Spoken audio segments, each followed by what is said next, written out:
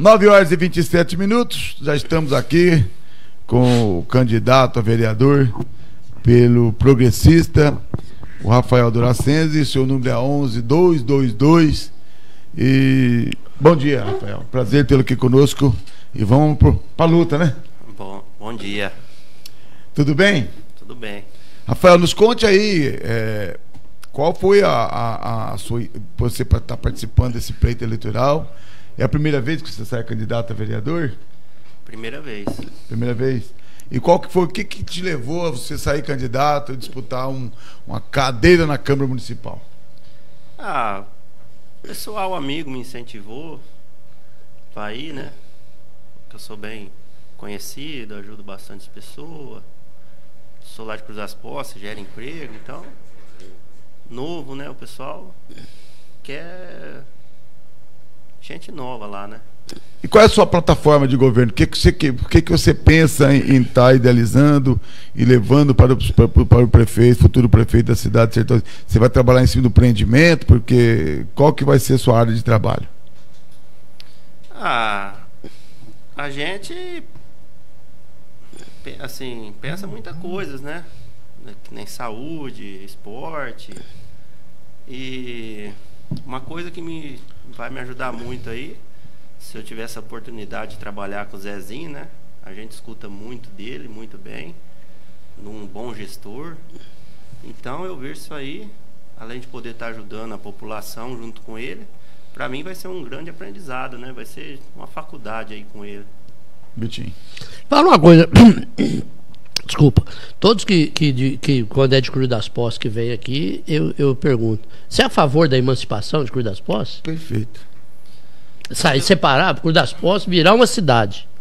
Então, lá todo mundo tem essa, essa vontade, né? Mas aí precisa ver se, se tem essa possibilidade, né? Se tem recurso financeiro, como é que funciona. Isso aí é. Ou seja, mas se tiver uma votação hoje para Cruz das Postes desmembrar de Sertãozinho, teria seu voto a favor? Eu ia ter que ver a. Fazer uma avaliação. Uma avaliação, se era viável, né? Porque não adianta nada eu só ter vontade que emancipe e não. Não ter recurso. Não ter recurso. É igual abrir um negócio, né? Como é que você. Se não tiver aonde vende, onde coisa, isso aí é. Mas Cruz das Posses hoje, eu, eu, eu entendo que Cruz das Posses hoje sobrevive, sobreviveria, assim, porque até porque tem município muito menor, né? Tem município aí com muito menos recursos e, e, e participa, porque o, o, o, FPM, né, que é o Fundo de Participação Municipal dos municípios, é, é, é bom. Né? Então dá para dá tocar. A única coisa é que aí vai ter prefeito, vai ter vice, vai ter vereador, vai ter. Tem de tudo lá, né? Tem um custo, né? É, tem um custo, custo então, disso. Tem que fazer esse levantamento e ver se é viável, né? É, o, o, o, o Cezinha falou que parece que precisa ter 12 mil e lá tem 10.500, né? É, tem essa primeira. É, tem, tem, uma, tem uma diferença. Tem uma diferença. Precisa ter 12 mil para emancipar agora, porque antes emancipava com qualquer número, né? Eu lembro de Rincão. Rincão acho que era o menor município do estado de São Paulo. Era, era pouquinha gente tinha lá em Rincão. Rafael, é, em Cruz das Posses, especificamente Cruz das Posses. Como é que está o tripé, que a gente sempre fala aqui como tripé? Saúde, educação e segurança. Como que você está vendo com a população essas três esse tripé? Saúde. Primeiramente vamos falar da saúde. Ó, oh, Cruz das Posses, em questão de saúde, a gente tem uma postinho lá de saúde, é super bem atendido, né? Não tem o que reclamar da saúde lá não. Está dentro do, do, do, esperado. Tá. Segurança. Ah, segurança também. Tem bastante segurança lá, né? E a cidade está bem colocada. Educação também. Educação também. Então você dá uma, uma, uma ótima avaliação, tá uma avaliação boa. Dá uma genebra. É, é então tem que dar algum né, mais alguns ajustes, acertar, mas tá. De um modo geral tá indo bem, tá limpeza, indo bem. né? Então. É, não tem. É, muito roubo, morte, essas coisas, tá. Teve uma época andou feio lá, né? Mas agora tá mais calmo. Não, questão de, questão de, de, por exemplo, assassinato, por exemplo, é uma coisa que você não prevê. Não tem Esse como não tem prever. isso Homicídio não, não tem como Aí você não prever. tem como prever, porque é uma coisa que acontece do nada. Então, é, são Ah, mas teve uma época que era previsto, sim. é, Sabia que ia matar quem? Sabe. A família Duracense, ela, ela, ela é bastante. É, é tudo de cuidas postas. É italiano, não é espanhol? Isso, é italiano. Italiano, né? Meu vô. Meu vô tá com 91 anos. Ele. Ele fala que ele era moleque, tinha, não sei se era 12 casas ali em volta da praça. E. Ele ajudou, ele até recebeu do prefeito uma homenagem do atual prefeito, como um dos senhores mais antigos de lá, e que ajudou no desenvolvimento da cidade, né? Não tenha dúvida. que ele trabalhou na, na usina Santo Antônio desde 94, aposentou lá. Então ele trouxe muita família de fora, né? No corte de cana. Arrumava hospedagem, ajeitava e de- quando vinha uma família, começava a trabalhar ali e depois vi- convidava, né? Pedia para ele, ó, tem uma família assim e tal, e estava precisando na época. Aí ele organizava e trazia o pessoal. Então ajudou muito ali a cidade. Família Duracense, família Petri. Agora nos conte para os eleitores. Conta a história do, do, do Rafael Duracense, que é o candidato a vereador pelo Progressista 11222. Conta a história da, da, do, do, Fala do bem Rafael. pertinho do microfone. É, fala- conta a história do Rafael. Ah, nasci ali em Cruz das Poças e estudei um pouco aqui em Sertãozinho, né? E comecei a trabalhar lá com meu pai na horta desde 2010. Meu pai já trabalhava, já tocava Vocês uma... mexem com hortifruti grangeiro? Isso. Tem uma chamadora Senza Hortaliça. Peguei lá do meu pai, meu pai me incentivando. Fui dando sequência no trabalho dele, que ele sempre apostou nisso, né? E vim desenvolvendo a horta. Hoje a gente tem até uma cozinha que faz uns picadinhos. É... Tô até enquadrado no agricultura familiar, que hoje lá a gente trabalha eu, minha esposa, meu sogro, né? Meu sogro vende verdura na rua. Era uma linha que eu que eu que, que fiz, né? Comecei lá, a gente só vendia lá Você, na você vendia verdura na rua. isso, aqui em Sertãozinho, fazia Puxa. Paraíso, Alvorada, Coab 7, Jamaica. Cada dia comecei ali na Alvorada, né? Eu vendia só lá dentro da horta mesmo. Aí foi aumentando o negócio, não tava a produção não tava conseguindo desovar tudo ali. Aí eu comecei a vir para Sertãozinho. E comecei a fazer alvorada ali. Aí o pessoal, ó, tal bairro, meu parente mora lá, não, não tem quem passa. Aí eu fui aumentando. Aí depois passei pro meu sogro essa linha, que aí eu fui, comecei a entregar verdura no Copercana. Poxa, É, saiu um dos fornecedores lá, tinha uma moça que trabalhava, de Cruz das Postas, trabalhava lá e me indicou. Aí o pessoal foi lá conhecer a horta, né, para ver se tinha estrutura, para suporte, né? suporte. Aí eu comecei a entregar lá. É, era de março ainda, né? Aí depois que eu entrei dentro do mercado, fui vendo as bandejinhas, os picadinhos. É uma coisa futura, né? Que o pessoal hoje em dia trabalha muito, corrido, que é umas coisas mais. Perecível, né? É pronta, né? E aí eu investi nisso. E fala uma coisa, você é produtor de tomate, não? Você Não, produz só tomate, não? folhas. Só folhas. Ah, tá. Isso. E tudo que eu processo lá, eu É. mesmo que planto. Entendi. Ela é, é couve, almeirão, Tá, tá. rúcula. É porque eu tô vendo, outro dia até comentei aqui, né, Wilson? O pessoal do tomate, não dá para entender os tomateiros e batateiros, né? Porque agora o repolho. Tô vendo o pessoal jogar na beira da estrada, jogando fora e no mercado troço caro. É umas coisas que não dá para entender, Entender, o que né? acontece. É. né? E aí quando eu Às falei de vezes é Pronaf tem- aqui, você sabe bem o que é Pronaf, né, que você está na agricultura É. familiar. E às vezes é que tem atravessador, né? Não paga o preço, não compensa, o nego joga fora. Ah, fora, isso tem é. isso, né?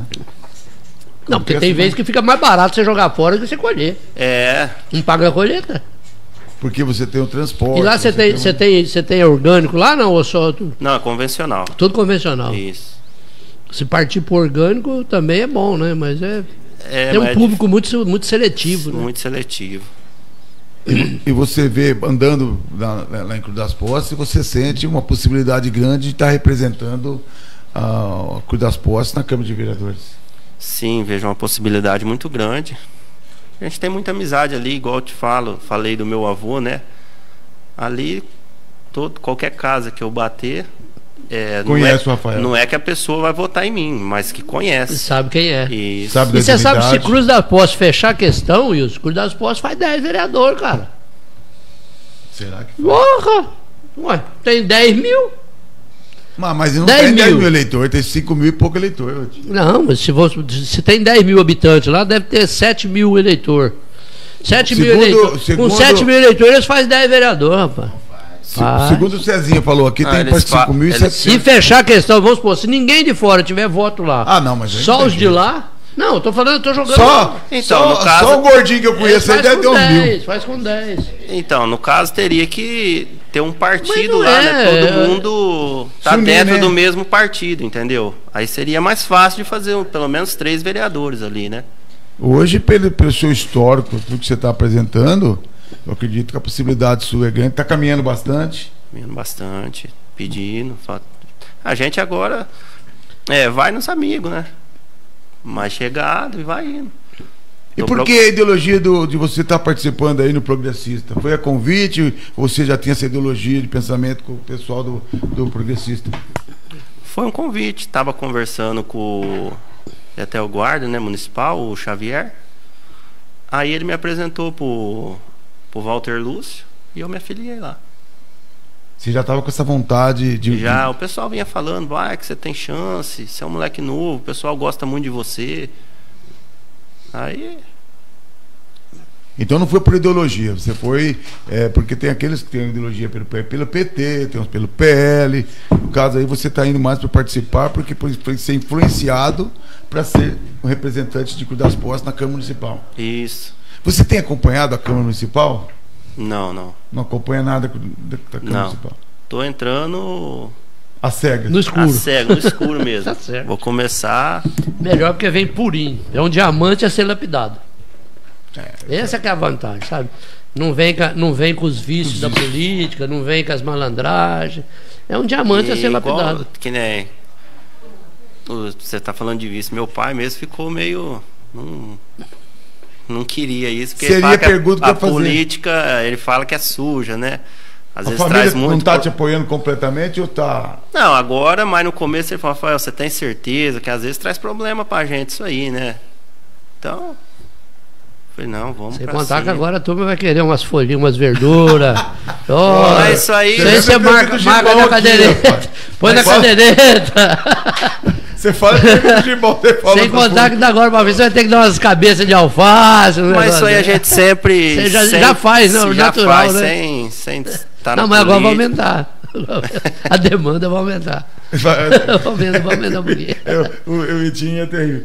E a política, você. Não, eu fiquei com dó do Beto Batata, cara. O Beto Batata, você sabe que pra Oh. você ver dinheiro do Beto Batata é igual cabeça de bacalhau. Você precisa ir lá na Noruega. Então, e o Beto Batata onde, rapaz? Procurando um dinheirinho que eu acho que a mulher dele cedeu pra ele ir na feira ontem. E ele procurando lá, e o Vartim Preto em volta dele. Ô, paga um show pra mim aí. Ô, me presta sete reais aí. Ô, ô, ô, sete reais. Oh, e voltando no assunto da emancipação, É, se tá falando aí de, de um número de população, de, de eleitor lá, não tá muito longe disso acontecer, eu, pelo que eu vejo. Porque tá desenvolvendo muito Cruz das não, Posses. lógico, das Hoje- postas cresceu muito. Hoje tá com dois loteamentos iniciando lá. Então, Tem que, tem que vir vender esses Cruz das lotes, tem que vender o lote em Jardinópolis, vender aqui em Sertãozinho, que agora mesmo nós dá uns 14 mil lá.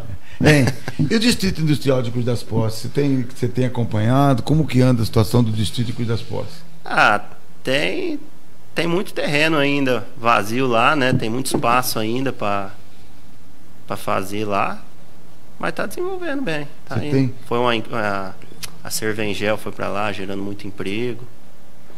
Então, a, na- a visão do Rafael como candidato progressista sobre o Cruz das Postas, o Cruz das Postas está maravilhoso. Né? Saúde está tá, de- tá- tá excelente. Segurança está bom. O que- então, o esporte. Como é que está o esporte em Cruz das Postas? Ah, é uma coisa que eu não acompanho muito, assim, né, o esporte. Mas tem uns amigos lá que gosta, que fala bem, que tá, tá satisfeito. Das Postas. Tá vendo? O povo tem que, tem que ver que das Postas. Não, não teve, não teve administração, rodeio né? lá esse ano, né? Eu gosto de rodeio desse ano, não teve ainda. Não, eles estão falando que vai ser em set... outu- é, set- final de outubro, né? Depois das eleições. Depois da eleição. Depois das então. eleições.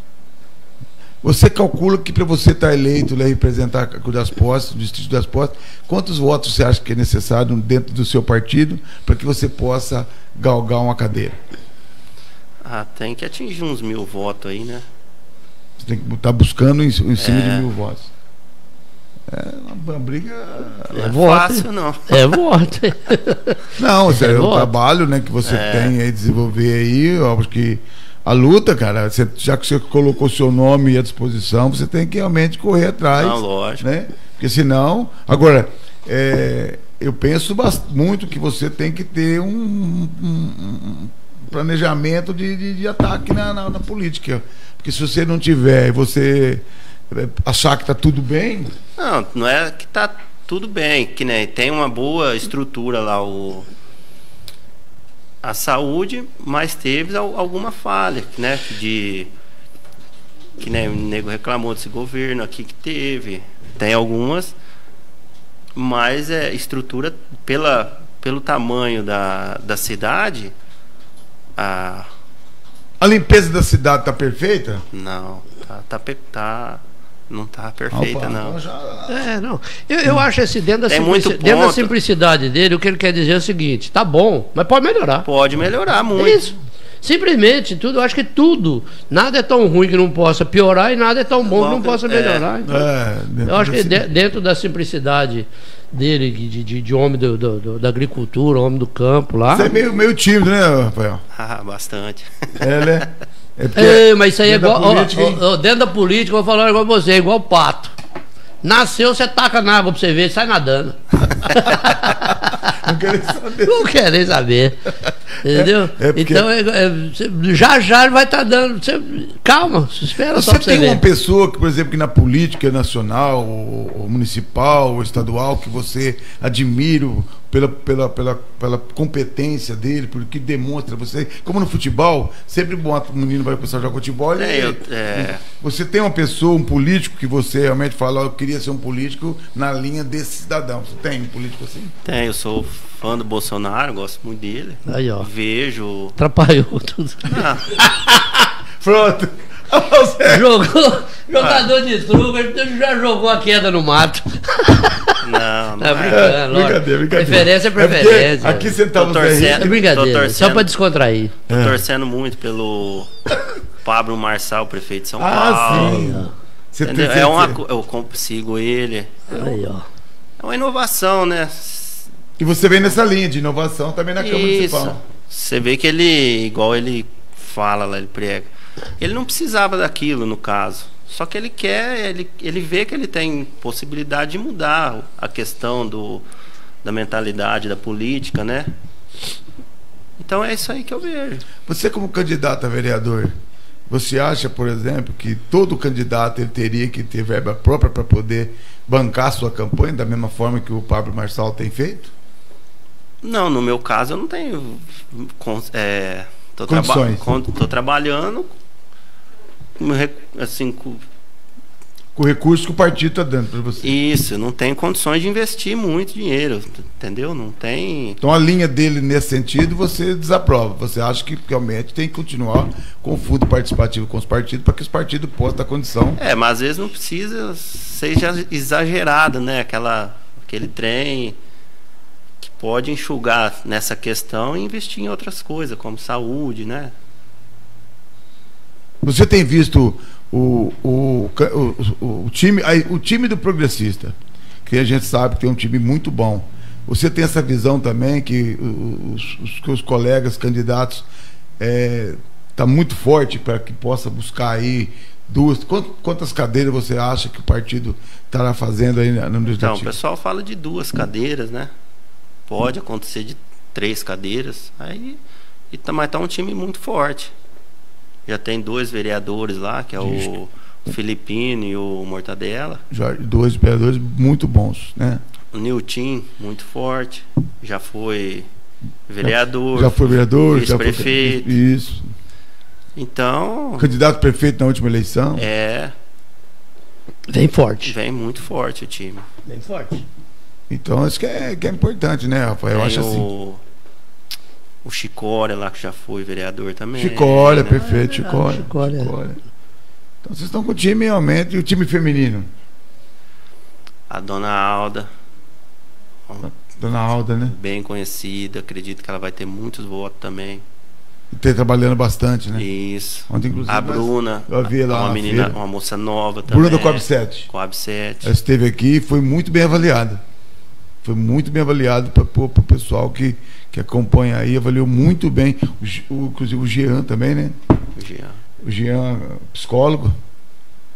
Também. Então você tá com um time forte, O time pô. tá forte lá, velho. Tá. Olha.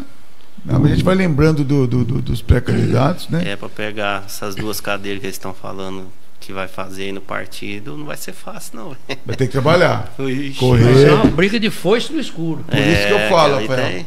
É, você não está buscando esses votos somente em Cruz das Postas, está buscando aqui em Sertãozinho também. É, a gente tem. Que nem eu tô aqui diariamente em Sertãozinho, dentro do supermercado Gric, Amarelinha, Copercana. Então a gente tem uma grande. Constantemente você está por aqui. É, todo dia eu tenho dois mercados aqui para fazer, entendeu? Então, tem. Tenho conhecimento nesses bairros que eu te falei que eu fazia a verdura, ia com, com a pampinha, a cornetinha, que hoje, no caso, está meu sogro nesse, nessa linha, Seu né? sogro está te apoiando firme nessa campanha? Aquele ali que tá mesmo. É? Quem, quem que é seu sogro? Quem que é? o Zildo, ele morava antigamente na Albertina, na Ah, usina lá. É porque se não tiver, se não tiver um trabalho, é, depender Não. somente de Cruz das Postas, que é o Vitinho colocou, né? É, Os votos de Cruz das Postas não fica só em Cruz das Postas, o pessoal daqui tem o próprio Cezinha que. é, né, Não, é, o Cezinho é muito bem querido lá. é, mas o que eu falo é assim, Wilson, o- o- às vezes as pessoas não entendem. O que eu estava dizendo é o seguinte, se Cruz das Postas fechasse questão, Ah. tipo assim, só, só daqui. Isso, então, no caso. Se fizesse isso, pra segurar você pode ter esses votos, certeza que eu falei 10, mas vamos, vamos trocar para 6, vai. 6, 7 no caso, vereadores. teria que todos esses candidatos que É, saíram é. lá, no caso, vamos pôr, Só estaria votar dentro do gente lá. progressista, né? Quantos Aí concentrava os votos. Quantos candidatos tem em Cruz das Postas? Você- Você tem ideia? Ah, tá beirando uns 10 candidatos lá. Que você Não, porque cada Cada- partido. cada um sai todo partido quer pôr um candidato lá. Ah, né? É. Todo partido. Se Então. tiver 17 partidos disputando a eleição, tem- tem 17 candidatos lá. É, então, no Eu não- caso, no caso teria que esses 10 fechar com um partido para segurar esses votos, para concentrar dentro de um partido para fazer mais cadeira, né? Você pensa em, em- em mais para frente, numa próxima oportunidade, trabalhar para que isso possa acontecer? Ah, tem que fazer isso. Alguém né? tem que ter uma liderança para fazer isso. É, É, porque fechar- senão. fechar não- a questão, não- né? não- não- não- não- os votos de lá esparramam e não faz ninguém lá. Esparrama todo. O último é, candidato de Cruz das Postas, se não me falha a memória, foi o Mineirinho. O que se, se elegeu. Não, Eduardo da Segurança. Eduardo dos Santos Segurança, perfeito, verdade. Eduardo Segurança e o Mineirinho, né? Foi Não, e Cezinho, o Cezinho é de lá, ué. Não, Ah, não, Cezinho não. é Cezinho ele mora em aqui Sertãozinho, né? Eu falo que tinha, eh, tem residência fixa em Cruz das Mas eu acho que ele, ele não morava lá. Não, o Cezinho? Cezinho Não, nunca nunca, morou- em Cruz das Não? Ah, eu pensava morou. que ele morava lá. Não, sempre foi Sertãozinho. Porque Mas ele, ele, ele é trabalhou ele é muito. sempre o pro- majoritário lá, né? É, não, lá ele é forte, ele sempre É. ajudou muito lá, né? é, é. É, eu mesmo, meu título, desde quando eu tirei, nunca deu voto pra ninguém, sempre foi Cezinha. Bom, então, já- Aí, então você já perdeu um voto. Você tem um minuto, Ó, Rafael, você já tem um minuto para que você olhe para o eleitor e peça seu voto para que você aí pro Rafael Duracens, do Progressista, 11222. Fique à vontade para você pedir o voto dos eleitores. Eu peço que o pessoal me dê uma, uma oportunidade, né? Pra conhecer meu trabalho. E é isso. A gente tem muita força de vontade pra fazer e acontecer. E vai ser muito bom poder estar ali na Câmara Municipal, trabalhando com o Zezinho Jimenez. Porque hoje, que nem eu falei do Pablo Marçal, hoje o nego vende muito. Tá vendendo aí na internet mentoria, né? Isso vai ser uma mentoria de graça trabalhar com esse homem. o bicho é fera, né? Bem conhecido pela gestão dele. Então é isso aí. Obrigado, Rafael. Boa Sucesso, sorte boa você, sorte para você. Obrigado vocês. Tá certo, falamos aí com o Rafael Doracense do Progressista 11222